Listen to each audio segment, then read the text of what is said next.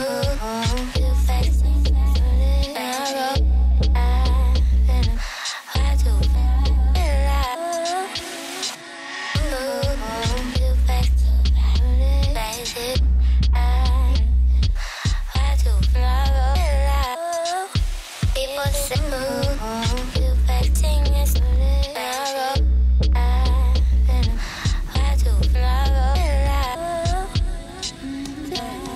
Start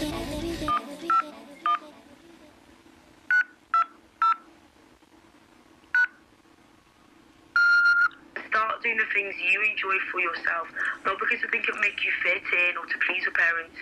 I would have found so much more enjoyment if I did the things I actually wanted to do.